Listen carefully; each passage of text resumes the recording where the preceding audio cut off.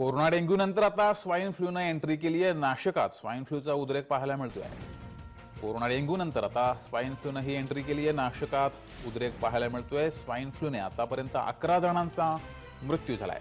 त्यामुळे नाशिककर धास्तावलेत. आरोग्य यंत्रणा सतर्क झाली आहे